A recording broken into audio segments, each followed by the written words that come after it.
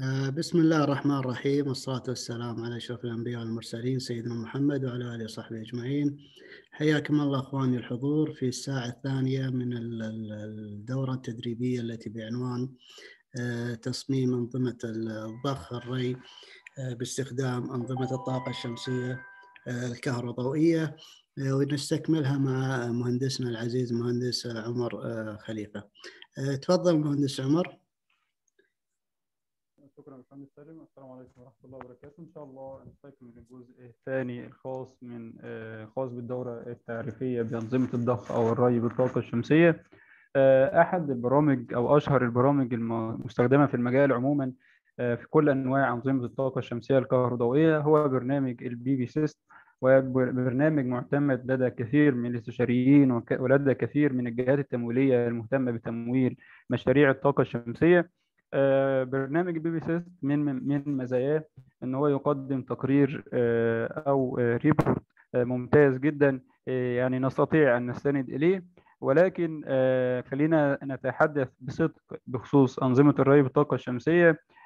نجد لعدم تحديث أو عدم وجود الملفات الخاصة بالبمبات أو المضخات المختلفة. لأن الـ PVsyst بيتعامل مع نوع معين من الملفات التي تحمل كل البيانات الفنية وكل المعلومات الخاصة بكل مكون من مكونات ال system أو أنظمة الطاقة الشمسية. فنجد مثلا بالنسبة للألواح الشمسية ما يعرف باسم ال PAN files ودي بيتم الحصول عليها من الموردين.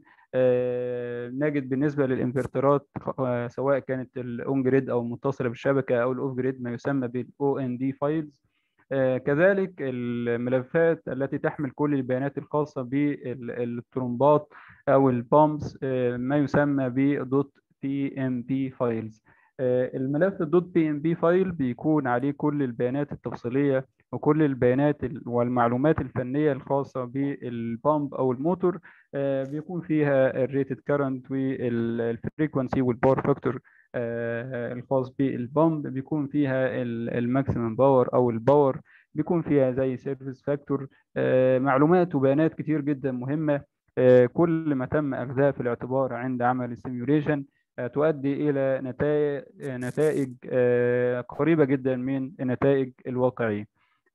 فهي دي المشكلة اللي موجودة في ال PVsyst أو عموما في معظم ال simulation بيتم الاستعاضة عنها إن بعض الموردين أو بعض المصنعين المصنعين لل pump بيقوم بعمل زي design tool tool خاصة بهذا المصنع أو المورد.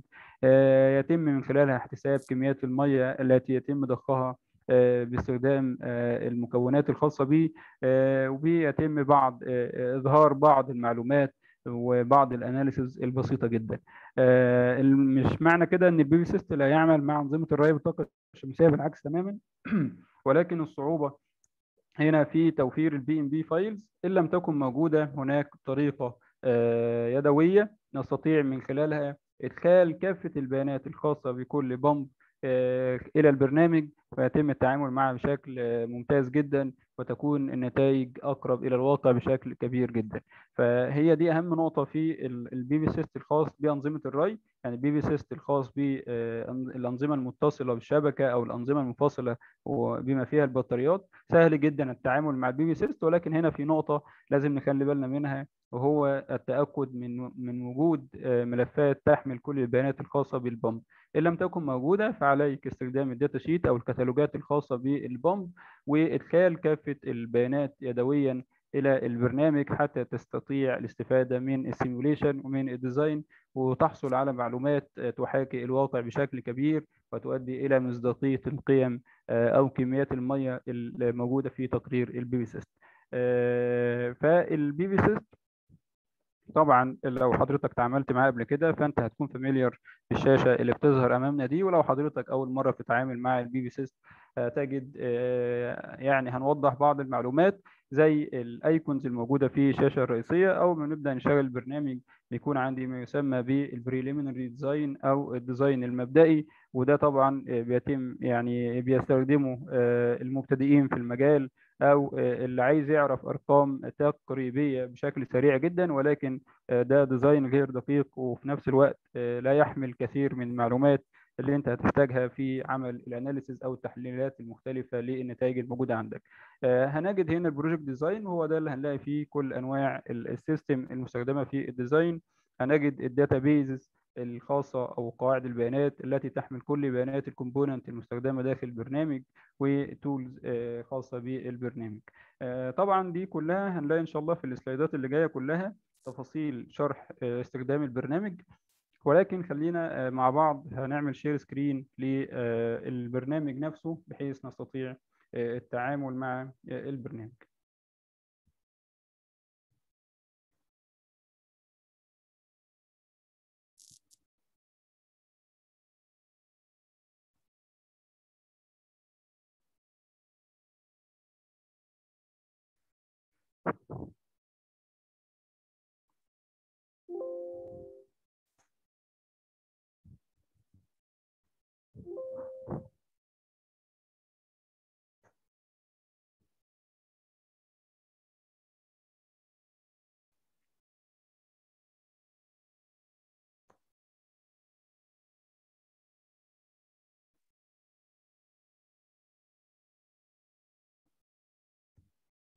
هل الشاشة واضحة كده للجميع؟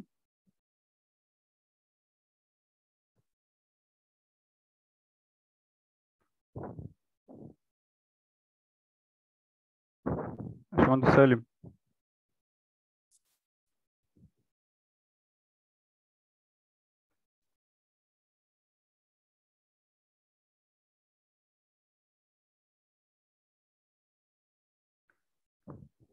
باشمهندس سالم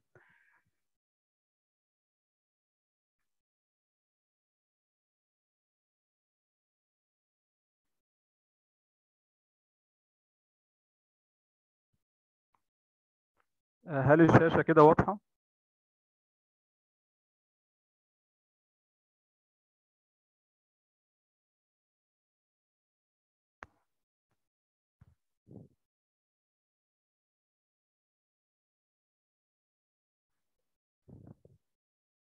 آه، تمام هو دي ال- الواجهة الأساسية لما نبدأ نشتغل مع البرنامج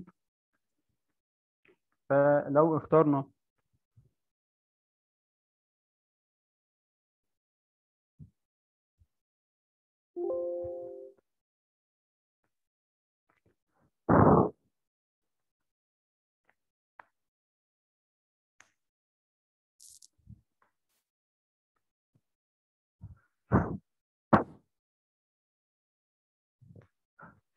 دي ال- الشاشة الافتتاحية اللي بتكون موجودة آه، داخل برنامج ال PVsyst.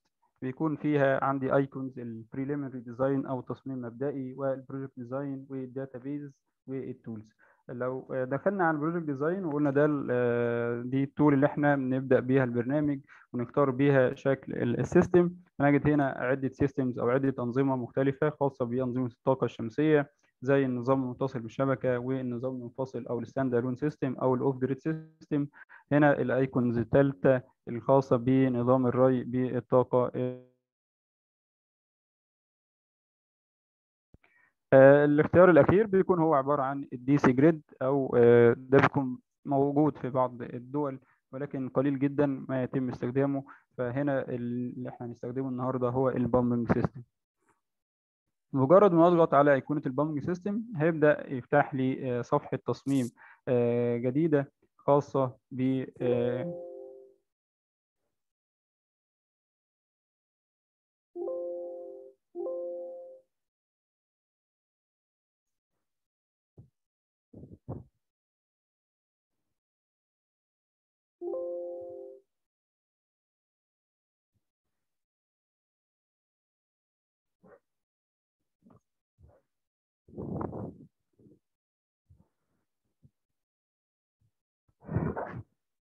بيظهر عندي ال- الشاشة آه، الافتتاحية الخاصة بأنظمة الري بالطاقة الشمسية. آه، بيتم اختيار أو تعريف آه، ال file name اللي أنا هحفظ فيه البرنامج وبقدر أسمي ال project name زي ما زي ما أنا عايز أسميه. هنا في ال- ال field بتاع ال project name بختار ال- ال Meteo أو ال location الموجود في موقع المشروع. وهنا بصراحة آه، الاختيار بيتم لما بختار الموقع بيتم تحميل كافة البيانات الخاصة بالطقس والبيانات الخاصة بالطاقة الموجودة في المكان وكذلك سرعة الرياح. فكل البيانات الخاصة بالمكان أو بيتم اختيار ال location بتكتب ال location الخاص بالمكان latitude و longitude اللي هو دائرة العرض وخط الطول الخاصين بالموقع وتختار المكان وبيتم ساعتها يعني لو إحنا هنا حبينا الحصول على ال location اللي هو ما يسمى أو ما ما يملك ال 25 بوينت 5 8 latitude وال longitude بتاعه 28.9 من خلال ال coordination أو الأحداثيات نستطيع عمل import ال import هنا يتم ادخال كافة البيانات الخاصة بال location ده من موقع ما يسمى بال Meteonorm وده موقع يحوي كل البيانات الخاصة بالطقس والإشعاع الشمسي في كل المناطق وما يناظرها من الإحداثيات التي يتم إدخالها للبرنامج.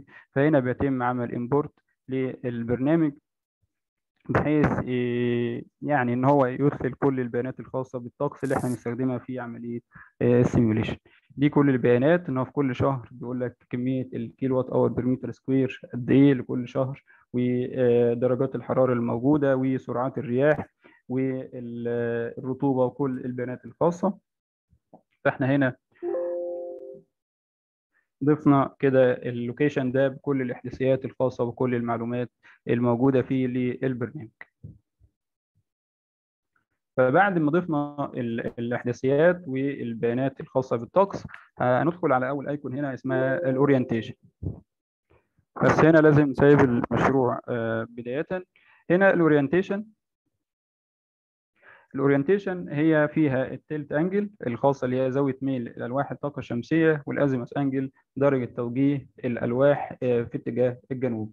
هنا لو غيرنا خلينا نلاحظ إن النقطة الحمراء الموجودة في نهاية الخط الأزرق هي تمثل هذه النقطة وده كده توجيه اللوح ك landscape إلى اتجاه الجنوب. في حالة تغيير ال azimuth angle فيتم تغيير ال orientation فنفرض مثلا غيرناها ل 20 فهنجد إن تم تغيير أو توجيه الألواح ل 20 درجة عن اتجاه الجنوب. ولكن هنا عندنا في مثلا ال case بتاعتنا هناخدها إن هي zero إن هي في اتجاه الجنوب مباشرة وزاوية الميل ممكن نخليها 30 درجة.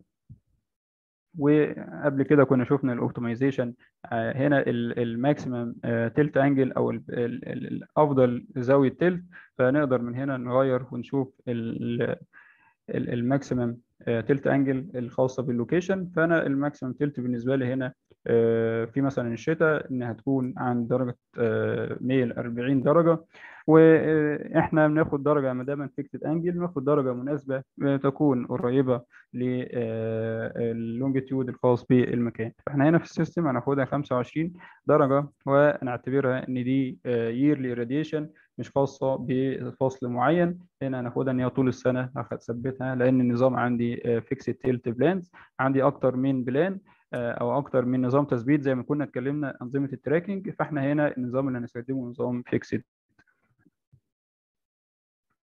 أهم icon هنا ودي اللي تفرق أنا طبعا اتكلمت سريعا لأن إحنا كنا اتكلمنا قبل كده على ال PVsyst وكيفيه استخدامه ال parameters الخاصة وال orientation والتفاصيل دي هنلاقيها موجودة اللي مش هنلاقيه موجود أو مش هنلاقيه منتشر هي ال water needs ال water needs أو احتياجات المية دي حاجة خاصة بأنظمة الري بالطاقة الشمسية. اولا هنا هنلاقي في صفحة عنوانها من فوق ال pump أو ال pumping hydraulic circuit. دي خاص بال hydraulic circuit وكل المعلومات الفنية المطلوبة فيها. فأنت لازم يكون عندك كل البيانات دي حتى تستطيع استكمال عمل ال simulation باستخدام برنامج ال PVsyst هنا أول field عندي فوق. هنا بختار طريقة أو النوع ال system المستخدم. فهنا عندي deep well to storage أنا عندي بسحب مية من خلال بير إلى خزان. أو بسحب مية من lake أو river من بحيرة أو نهر إلى برضه خزان أو pressurization system فإحنا النظام المتعارف عليه أنا هسحب مية من بير هطردها إلى مساحة مزروعة ببعض المحاصيل. فال deep well to storage ده الاختيار الأنسب عندنا. هنا بيسألك على بعض المعلومات المهمة جدا ما يسمى بال static depth هو عمق المية موجود على قد إيه؟ قبل السحب وقبل التشغيل فوش المية مثلا أو اول نقطة للمية موجودة على عمق قد إيه زي ما هنا باين في الشكل الموجود فده ال static depth عندي في ال system هنا 45 متر. ال maximum pumping depth 47 متر وال pump depth يعني ده ال maximum pumping depth 47 وال pump بتكون نازلة أكتر من ال maximum pumping depth. هنخليها هنا إيه 50 ال borehole diameter اللي هو قطر البير يعني البير ده ليه قطر قطر البير اللي نازل جواه المواسير مواسير السحب من ال pump ليه قطر هنا 30 سم هنا بيكون ال specific drawdown نسبة الهبوط في المية في البير مع التشغيل دي بيتم الحصول عليها من شركات حفر الآبار بتبقى عارف هي بيحصل نسبة هبوط قد إيه كل ساعة أو مع كل سحب لكل متر مكعب مية بيتم سحبه على مدار الوقت. ال field الثاني أو ال box الثاني خاص بال storage tank أو الخزان المستخدم في تخزين المية.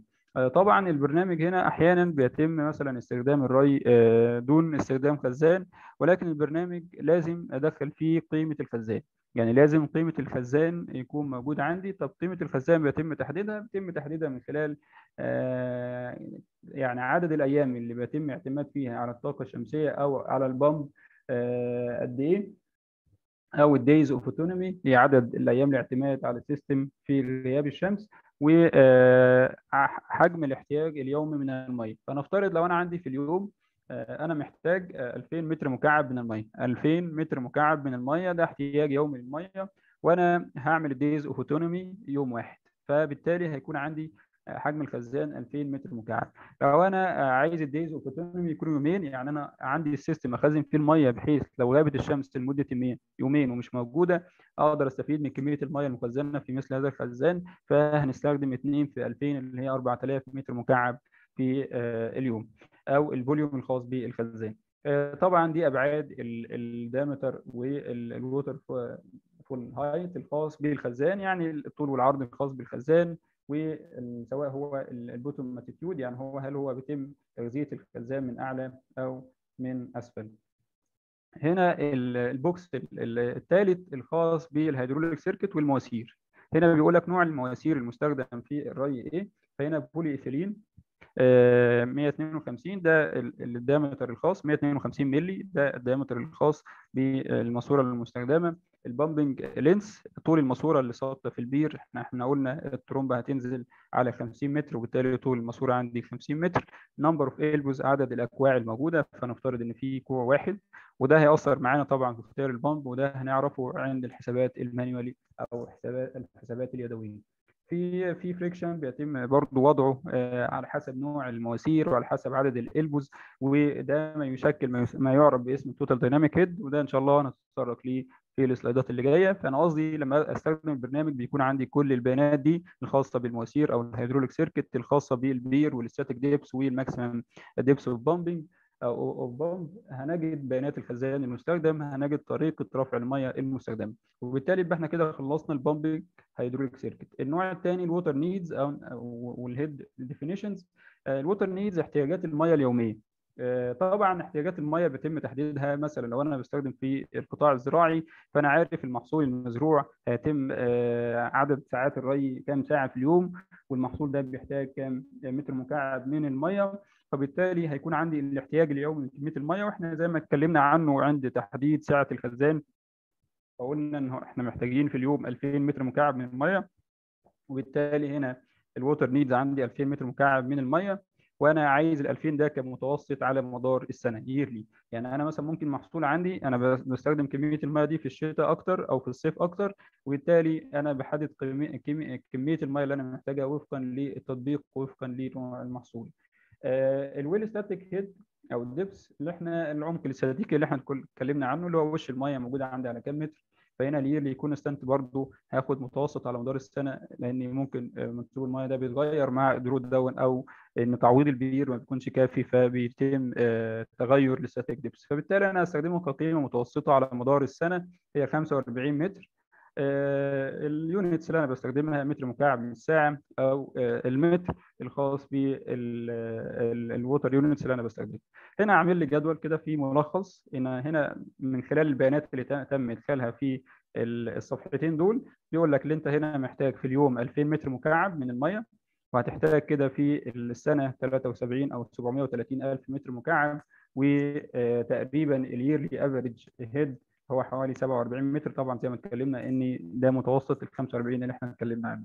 وال hydraulic energy المطلوبة وال PV need اللي أنا مطلوبة ده ملخص بس just summary عشان تبقى أنت تقريبا محتاج عارف محتاج قد إيه خلال السنة عشان لما تعمل ال simulation تشوف أنت قريب من الرقم ده اللي هو 730 ألف متر مكعب في السنة ولا لأ. فإحنا كده سيبنا. يعني بيطلب منك تسيب ال variant أو ال simulation variant ده. فاحنا كده إيه تم آه حفظه. بعد كده بعد ما تم اختيار ال water needs واتكلمنا عليها هنا خلاص. هنا بيتم اختيار ال system. ال system مقصود بالخلايا المستخدمة ومقصود ب drive أو driver اللي هو ال variable speed drive ومقصود بالبامب فهنا ال pump المستخدمة طبعا أنت بتختار ال manufacturer. إحنا قلنا إحنا كانت مشكلة ال PVsyst ان مش موجود في الترومبات كلها المستخدمة في السوق وبالتالي أنت بتستطيع لازم manually تدخل كل البيانات الموجودة قدامنا دي. فنجد مثلا دي general data زي الموديل والمصنع والتفاصيل الخاصة بالاستهلاك سواء ال power وال voltage وال curve نفسه الخاص بال pump فأنت يجب إحنا طبعا ده نفس ال curve اللي كنا اتكلمنا عنه في ال centrifugal pump أو submersible pump. فهنا لازم برضه يكون أكون عارف أو أرسم ال curve داخل البرنامج وادخل كافة البيانات الخاصة بالترومبه حتى الأبعاد الخاصة بال enclosure نفسه الخاص بالترومبه لازم أكون عارف كل التفاصيل الخاصة بال flow rate وبال head وبال efficiency أكون عارف ال detailed parameters الخاصة بالفولتج الماكسيمم فولتج والنومينال والابسولوت ماكسيمم كارنت مسحوب من الترومبة وأكون عارف برضو طريقة السحب هتكون عاملة إزاي؟ هل هي ترومبة سطحية ولا هي ترومبة غطسه هنا برضو نوع الترومبة centrifugal ولا بوستن ولا يعني على حسب بقى ال progressive cavity أو rotating displacer على حسب نوع ال pump المستخدمة فإحنا اتكلمنا إن هي centrifugal multistage يعني متعددة المراحل. ونوع الموتور اللي عندي أو electric side زي ما اتكلمنا كان في DC motor كنا اتكلمنا عنه في المثال. هنا الموجود عندي AC motor tri phase يعني 3 phases أو 3 فاز فده كده لازم كل البيانات التعريفية. طبعا إحنا تم إدخال البيانات دي كلها في وقت قبل ال presentation عشان نوفر على حضراتكم ولكن لو إحنا حابين ندخل ال component ده ممكن بعد ما نخلص إن شاء الله ال simulation أقول لحضراتكم إزاي بتبدأ تدخل كل البيانات الخاصة دي من خلال ال data sheet الخاصة بال pump فأنا كده تقريبا عملت كل البيانات الخاصة بال pump فأنا عملت selection لل pump واخترت ال pump that's OK يعني.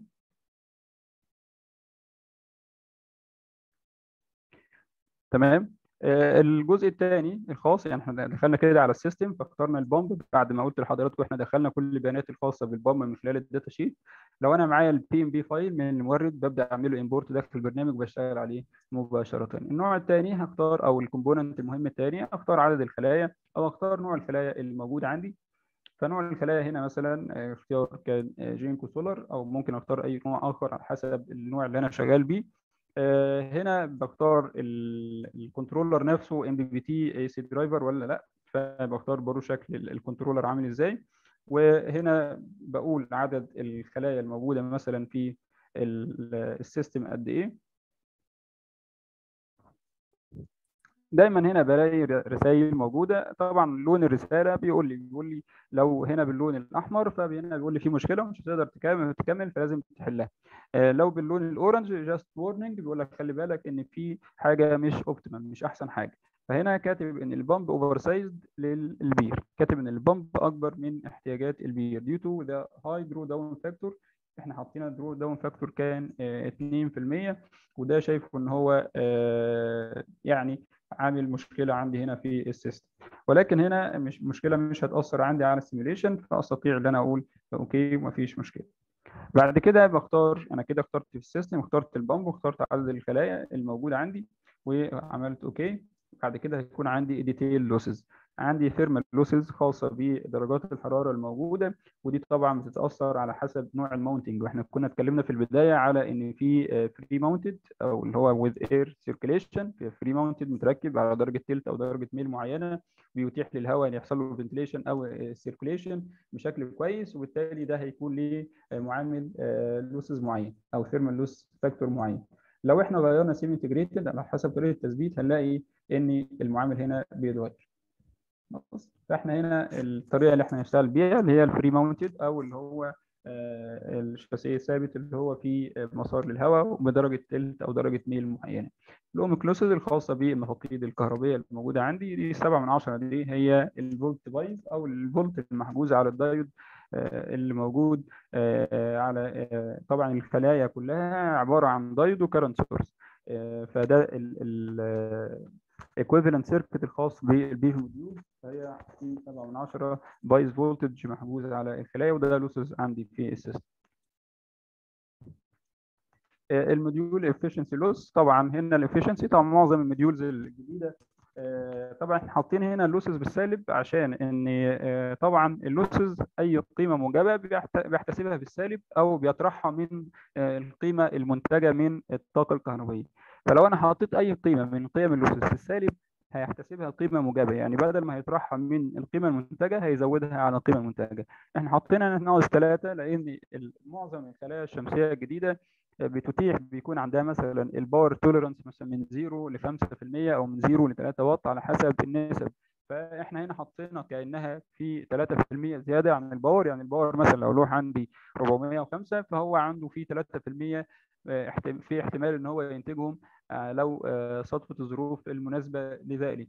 وبالتالي حطينا قيمة ال losses بسالب 3% ال LID loss factor وده degradation أو الانتاجيه بتاعت ألواح الطاقة الشمسية بتتأثر بمجرد تعرضها للشمس. ودي ظاهرة خاصة بذرات السيليكون اللي هي المكون الأساسي لالواح الطاقة الشمسية. مجرد ما بيتعرض للشمس بيحصل قيمة فقد معينة. هنا ال default value بتاعتها 2% ال soiling losses وهنا بصراحة يعني من أهم الحاجات اللي موجودة soiling losses وده يعبر عن قيمة أو مدى تعرض ألواح الطاقة الشمسية للأتربة وللغبار. فلازم تؤخذ بعين الاعتبار. يعني مثلا في المناطق الصحراوية بيتم تعرض الألواح لكميات من الأتربة كميات كبيرة جدا تؤثر سلبا على إنتاجية ألواح الطاقة الشمسية. فبالتالي ممكن نخلي هنا 4% مثلا لو أنا ال system عندي موجود في الصحراء أو 5% لو هو معرض لكميات أكتر وبالتالي هيأثر على الإنتاجية الموجودة. طبعا ال default value هنا 3% فممكن إحنا هنا نخليها 4% نرجع بس عفوا لل losses الثانية نسينا نقول ال mismatch losses mismatch losses إن بيقول لك إن الخلايا كلها مش متطابقة 100% بيكون في فرق بين كل لوح والتاني ويكون في فرق بين ال component المستخدمة. فبيكون في losses نتيجة ال mismatch عدم التطابق أو يعني الخلايا مش identical 100% وبالتالي هيكون في mismatch losses خاصة.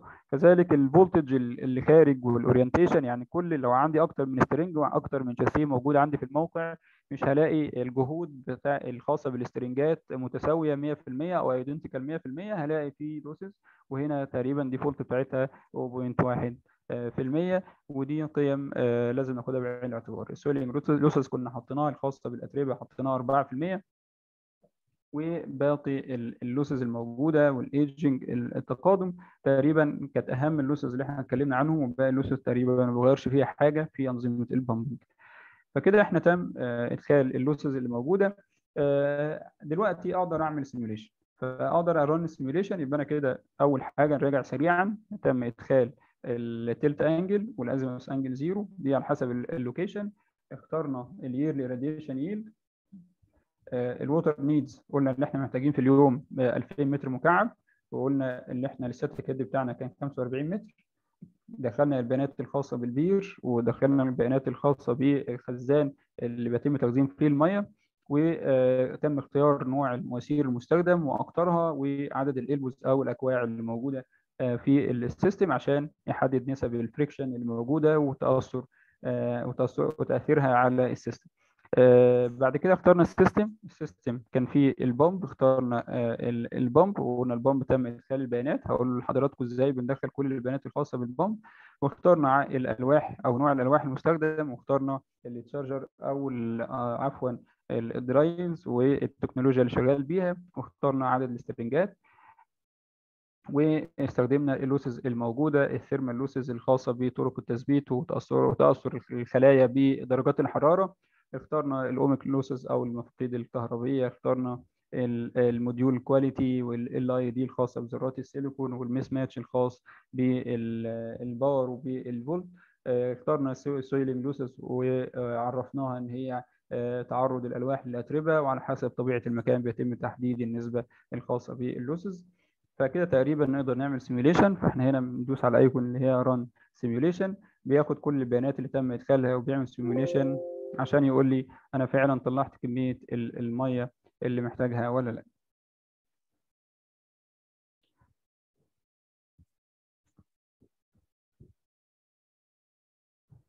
طبعا على حسب ال system وكل تفاصيله. يعني ال system ده لو فيه رسومات بيكون فيه تفاصيل كتيرة جدا. من هنا بقدر أشوف ال report اللي موجود عندي.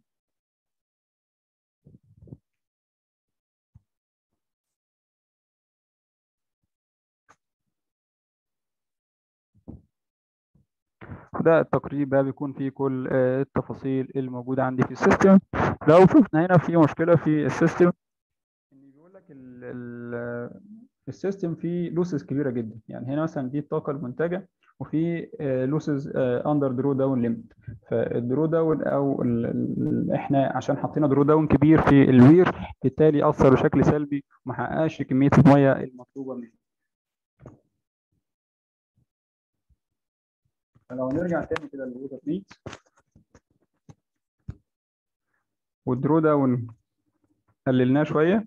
ده طبعا القيم دي بيتم تحديدها من شركات حفر الابار فعشان كده الرقم ده مهم. زي ما إحنا قلنا هيأثر عندي على ال system وعلى كمية المية اللي بيتم ضخها. هعمل simulation تاني كده ونشوف النتائج مع بعض.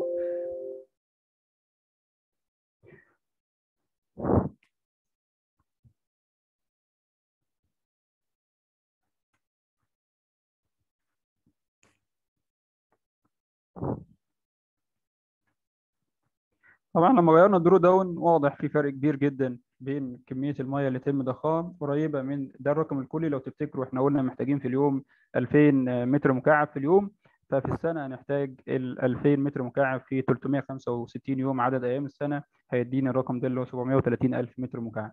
هنا الكمية المنتجة حوالي 72900 أو 729000 في فرق تقريبا 1000 متر مكعب أو أقل يعني حوالي 800 أو 700 متر مكعب مية. ده خلال السنة فده رقم مش كبير وده acceptable يعني ال missing water هنا 0.1 فده رقم مقبول جدا. فإحنا بس كنا يعني كويس اللي إحنا حصلت مشكلة ال drawdown دي عشان ده عامل مهم من الحاجات اللي يجب أن تؤخذ بعين الاعتبار عند تصميم باستخدام برنامج PVsyst ودي زي ما قلنا رقم مهم جدا بيتم أخذه من شركة حفر الآبار وتقول لي معدل الهبوط في المية مع السحب في البير ده قد إيه. ونسب التعويض الموجودة في البير ده قد إيه؟ طبعا دي شركات مختصة بالميه هي اللي بتقول الكلام ده. فأنا لو رايح أصمم محطة طاقة شمسية لازم أعرف نسب تعويض البير ونسب الهبوط في الميه مع التشغيل طبعا هنا لما أطلع ال report الخاص بالطاقة الشمسية أو بال PVsyst أنا أجد report تفصيلي هنستعرضه سريعا كده سوا. طبعا التقرير زي ما باين بيبان فيه اسم المحطة طبعا وال location يعني تقدر تكتب أي على حسب المشروع. إحنا بس كانوا عاملين حاجة سريعة كده عشان ال presentation وال meteo data اللي موجودة ده تم أخذه من موقع ال Meteonorm لو تفتكروا قلت لك الموقع ده بيحوي كل البيانات الطقس الخاصة بال location ده أنا بيتم إدخاله. فطبعا هنا عشان البرنامج اللي أنا شغال عليه trial فبيكون عليه القيم مش updated ولكن لو برنامج ب license ممكن تلاقي القيم دي لحد 2020 أو 2021 فبتلاقي القيم أدق شوية. ولكن القيم ما بتختلفش كتير يعني.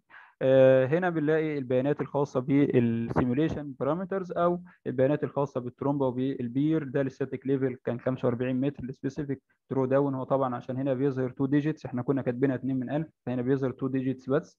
فال pump depth كانت الترومبه نازلة على عمق 50 متر وال maximum depth كان 47 دي كل البيانات اللي إحنا تم إدخالها وده نوع ال pump اللي تم استخدامه.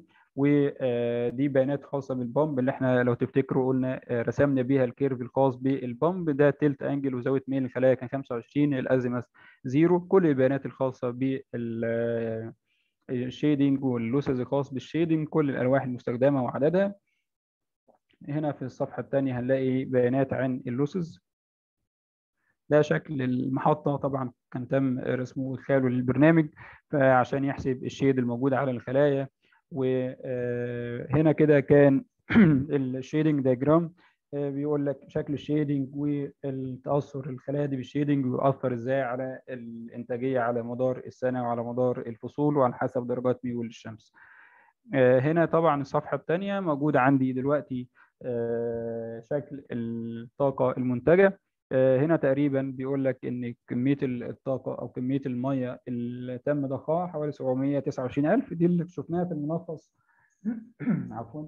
دي اللي شفناها في المنفذ لما استعرضنا عملية ال simulation فده كان 729000 واللي أنا كنت محتاجه كان 730000 بفرق تقريبا 700 كيلو أو 708 كيلو بالظبط. عندي كمية ال energy كان 135 ميجا. أو 135 ألف كيلو يعني. فدي كلها بيانات ودي ال graphs وفي هنا حاجة مهمة جدا ال system efficiency تقريبا 70% طبعا الأرقام دي لو بيانات ال pump والحاجات دي داخلة مظبوط فالأرقام دي بتكون قريبة جدا من اللي بيحصل في الواقع.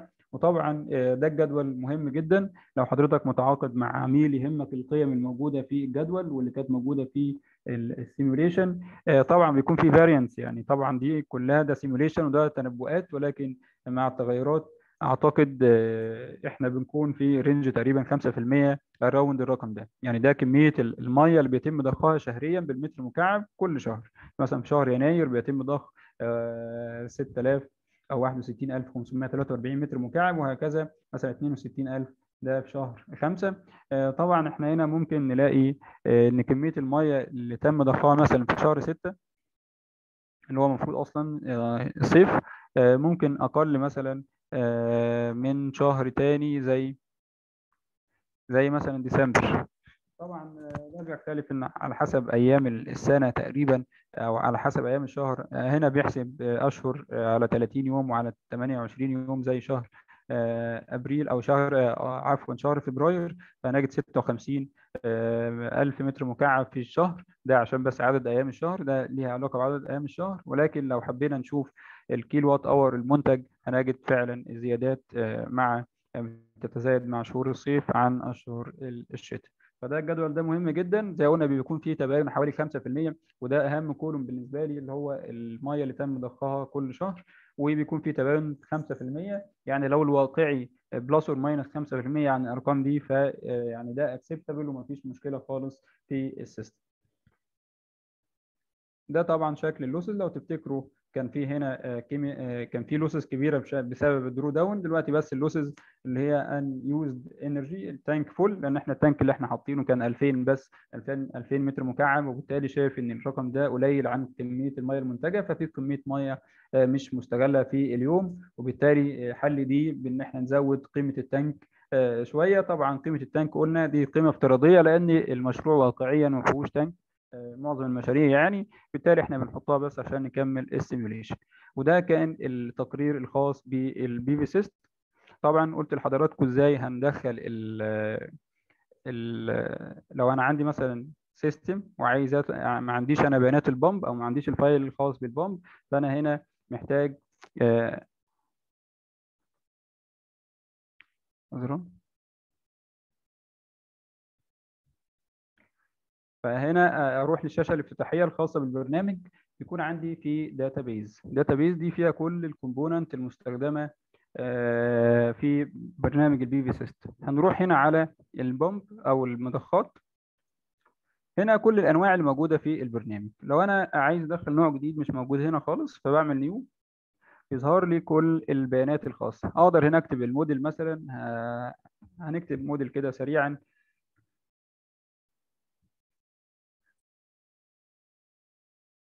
يعني أنا كتبت موديل كده سريعا هنكتب إن هو مثلا تبع فانسان. هنا ال motor type ده كان AC 3 phase تمام.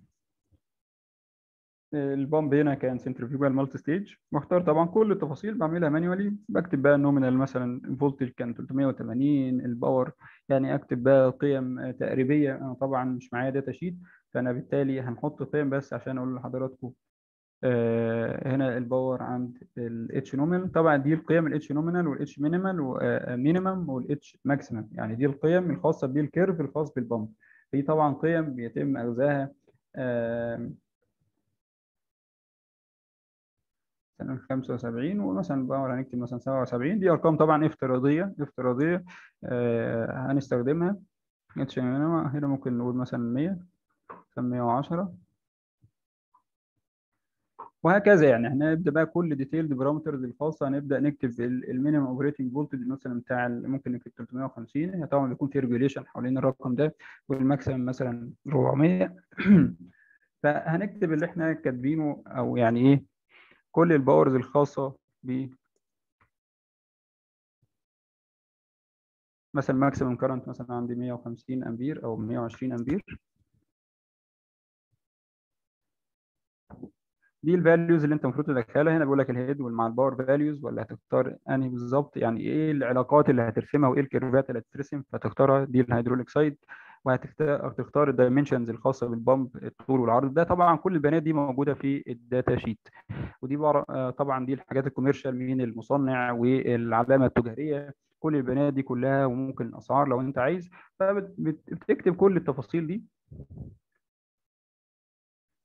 طبعا هنا بيقول لك please define a valid file name with the extension .pmp قلنا ال PMP ده ال file الخاص واللي يحمل كل بيانات ال pump فال file name مثلا نكتب SS please define the pump layout type. فاحنا كده محتاجين نعمل بعض التعريفات.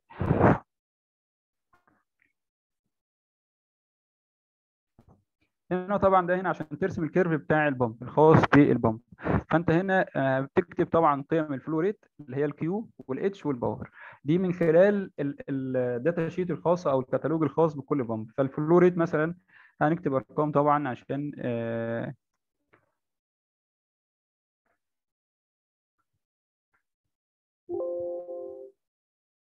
طبعا هنا ظهر إن إحنا كتبنا أكتر من nominal لو رجعنا أول data طبعا أنا عشان بكتب قيم افتراضية سريعة طبعا مش هيبقى يعني مثلا هتبقى القيم أحيانا مختلفة ديفاين دي سي فولتج مثلا 540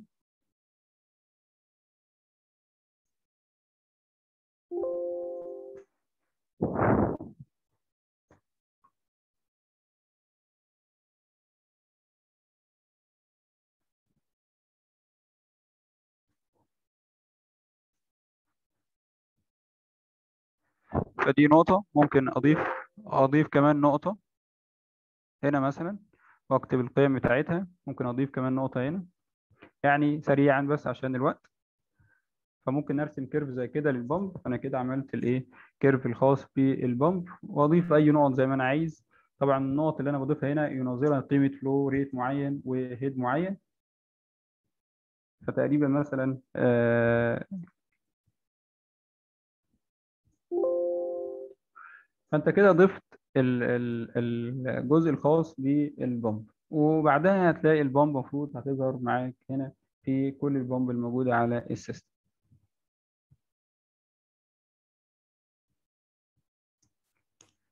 بعد ما ضفت ال pump هنا لما تيجي المفروض تعمل design بيقول design pumping system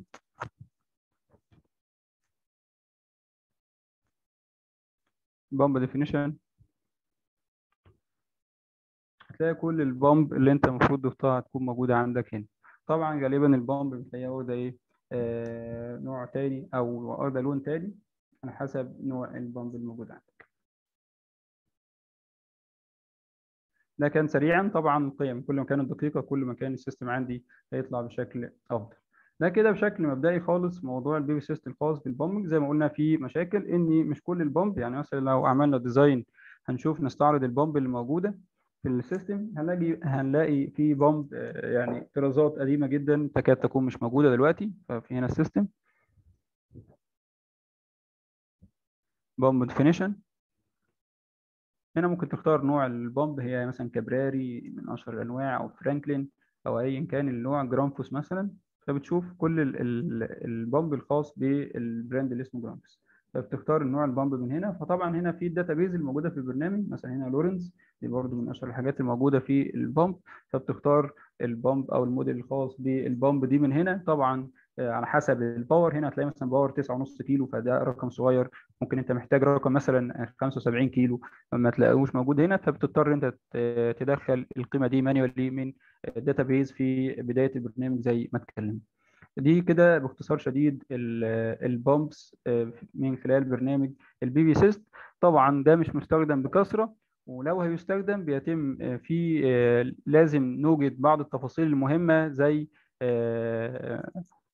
زي بيانات الترومبا بالتفصيل هي دي بس العقبة الكبرى في برنامج PVsyst. ولكن أنا مجربه في كذا مشروع بس خد شوية مجهود في إدخال ال pump وبالتالي بعدها بيطلع قيم واقعية قريبة. يعني كميات المية بتكون قريبة جدا بعد القياس ب flow meter مثلا بعد تركيب المحطة واقعيا بتلاقي قيم المية قريبة. زي ما اتكلمت إن plus or minus 5% فدي أرقام كلها مقبولة.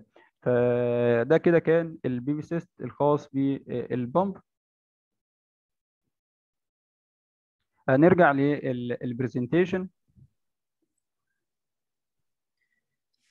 أعتقد مهندس عمر من المناسب انه يكون ال break الأخير في بعد الساعة الثانية أن يكون الآن بحيث أنه يعني يعطي فرصة لأداء صلاة العشاء. حسب توقيت يعني الكويت أعتقد. فإذا يناسبك ناخذ break لمدة عشر دقائق ونبدأ نستأنف الساعة الأخيرة في ال presentation تمام يا باشمهندس مع حضرتك. بإذن الله. أخواني الحضور انتهينا من الساعة الثانية من الدورة التدريبية لتصميم نظام الضخ المياه للري الطاقة الشمسية مع المهندس عمر خليفة. ناخذ break لمدة عشر دقائق ثم نستأنف الساعة الأخيرة من هذه الدورة. خلوكم معنا break قصير ونرجع مع بعض إن شاء الله.